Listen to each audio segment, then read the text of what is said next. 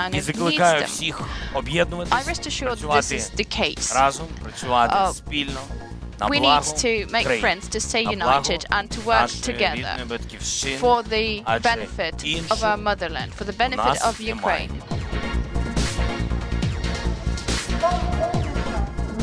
The cooperation of, of the countries in the region.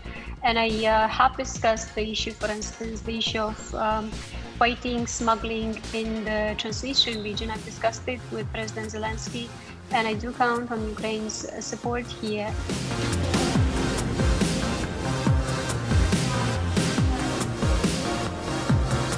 Autocrats and oligarchs cannot concentrate power without concentrating wealth through illicit means.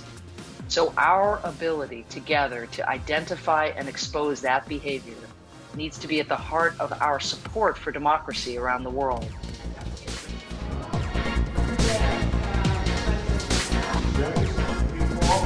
We need to ensure open civic engagement for an enhanced transparency and oversight of anti-corruption reforms implementation.